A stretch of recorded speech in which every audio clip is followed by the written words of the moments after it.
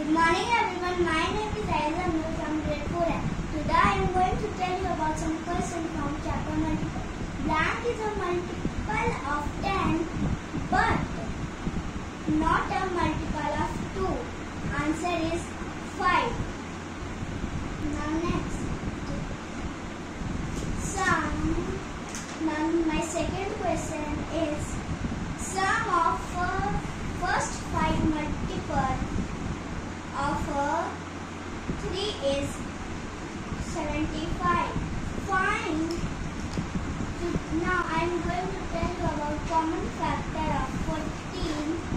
Common factor, common factor of 20 or 10. First common factor of 10. 1, 2, 5. 1 to 5 is a common factor of 1 to 5 is a common factor of 10 and this 2 and 2 4 and it is the common factor of 20 so the common factor is 5 1 and 2 Thank you.